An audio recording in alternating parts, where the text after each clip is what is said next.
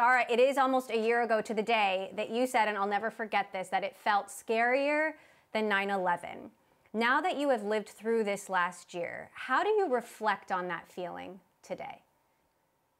Well, I think the feeling uh, reflected the reality that we've seen. Uh, this is an event that has affected everyone around the world. I think no one has escaped uh, the tragedy that that this pandemic has represented, and the effects have been obviously long lasting. It's been over a year. Uh, we now see the light at the end of the tunnel, but we are by no means there, and and I think there's a lot of work to be done uh, to get there. And uh, and just like September 11th uh, changed the face of travel and how people traveled, et cetera, uh, I think that the pandemic is going to really change the way that we live and we work.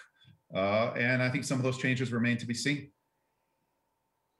Uber has also transformed dramatically in the last year. you have doubled down on food delivery. You've made some acquisitions. You're getting in on grocery. You've also sold um, equity stakes in the self-driving unit, flying cars, electric bikes. How much different is the Uber that you're running today um, than the Uber that you thought you were going to run when you came from Expedia? Well, I think it, uh, it it's very different. First of all, in that when I came from Expedia, really Uber was about mobility. I, I all the questions I asked, all the research that I did was about the mainline rides business or mobility business. And Uber Eats was this like, kind of cool thing uh, that Jason Droege and a couple of other folks had had built, but it was you know it was it was a growth uh, vector. But I would have never ever anticipated that the delivery business uh, would get to the 50 billion run rate that we're talking about now, uh, just three and a half years later. Uh, and I think you know that's as big as the Uber rides business was. So we've essentially built another Uber, um, partially because of the great work of the teams who built that business, but also benefiting from the pandemic and the onrush of commerce to the home. Uh, we've been one of the beneficiaries, and I think we've we've executed really well behind that. So. Uh, I think the result of all this is a bigger Uber, uh, a more diversified Uber, uh, and really an Uber that's about going to places and getting anything within your home becoming a bigger bigger part of, of your life. It has caused us to uh, to sell or merge some of the biz- uh, pieces of the business uh, that we consider non-core, partially because the delivery opportunity is so big, and we wanted to double down on it and really focus on making sure that we deliver on the promise there. And we still got a long way to go. Well, and you still have equity stakes in Aurora, in Lime, in Joby, in this $13 billion investment portfolio. And I wonder what the strategy is there. Is Uber a VC now? We're, you know, uh, I'd say by no means a VC. Listen, on the, the investment portfolio is is significant. Uh, and we think the value of that investment portfolio is going to grow. Uh, we also have a very large stake in Didi, uh, who's a big rideshare player in China, Grab, uh, joint venture that we have with Yandex as well. They're all about mobility and delivery uh, ecosystem. Uh, so any investor who invests in Uber gets a benefit of the mainline business and networks that we're running this delivery and mobility network on a global basis and also gets further growth from the ecosystem that we have developed through some of these partnerships. Uh, either way, it's going to be a win win. So, as the world starts to open up, what is the picture of demand you're seeing? You know, we've heard speculation about a roaring 20s style return. Is that how you would characterize it? And how are you preparing to ramp to meet that demand to make sure there are enough couriers and drivers to serve all your customers? Well, while sometimes it might feel like it, I wasn't around in the Roaring Twenties to uh, exactly give that characterization. after after this year, I feel like maybe I was, uh, but but we're definitely seeing trends that are encouraging. Um, our bookings February over January, uh, month on month, increased 15% on a month on month basis. March is stronger than February as well as we things open uh, as we see things open up. Uh, and we think there's more to go, right? The, the minority of the population has been vaccinated. Things have not completely opened up, but in certain markets like in Miami, Uh, our mobility business is down only 25%, so it's getting back to close to normal. And remember, we have very little airport activity. And our delivery business is growing over 100%. So we might see for Uber a period in which we're hitting on all cylinders, uh, which, which would be a pretty significant positive going forward.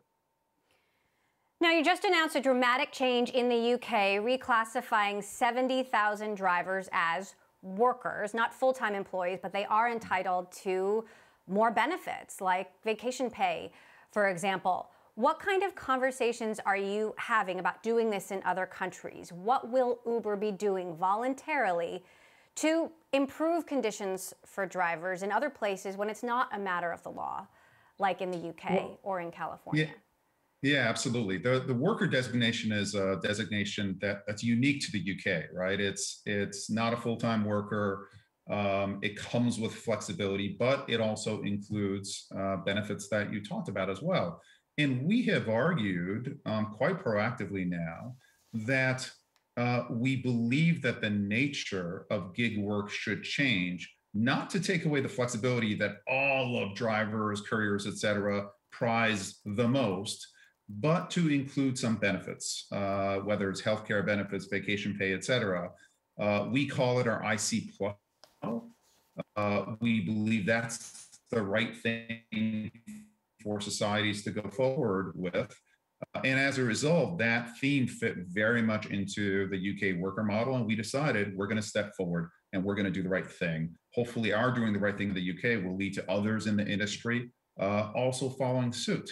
Um, these are discussions that we are having uh, in other countries. Obviously, regulation here is very local. Uh, India, for example, recently passed regulation that looks similar, but we think this model of maximum flexibility to earn the way that you want to, along with some benefits, we think that is the future model, and it's one that we're going to support. Now, you've said this will increase costs, but won't impact profitability. And I've been talking to analysts today, and one of them said, the math doesn't work out, at least my math doesn't work out.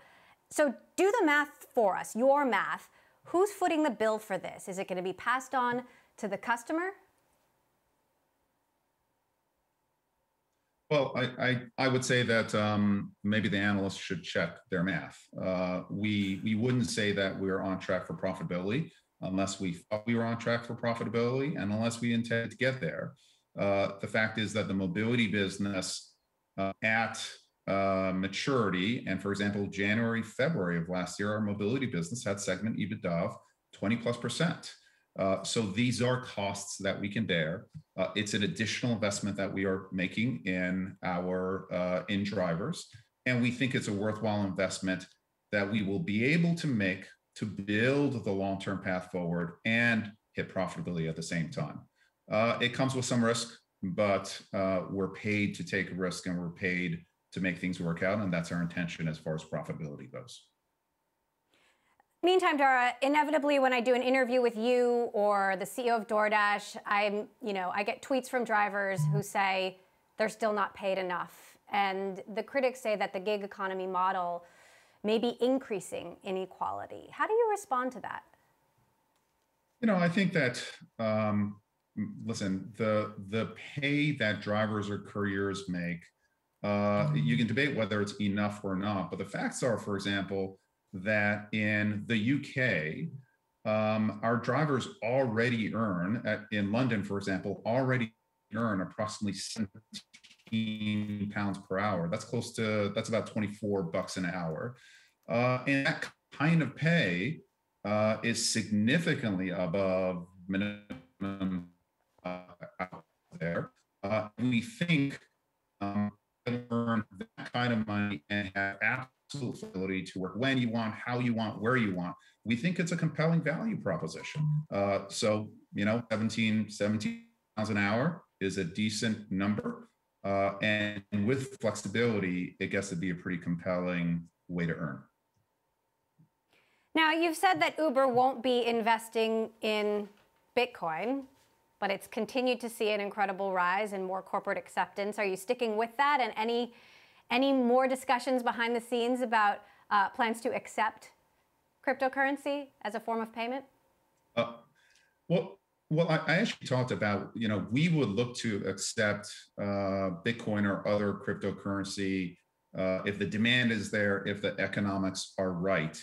Uh, as far as investing in Bitcoin, it's not something that I see near term. You know, maybe it'll change in a couple of years.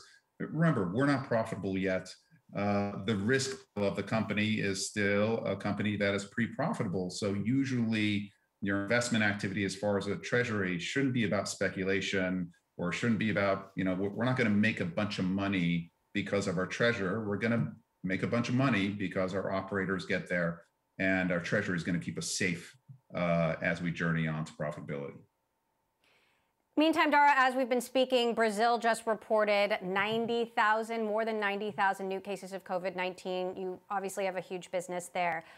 In your view, is, is the crisis uh, nearly over or is it still far from over?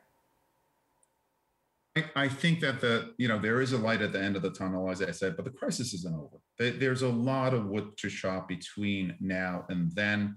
Uh, we've got to stay vigilant uh, in terms of masking up, in terms of keeping our distance.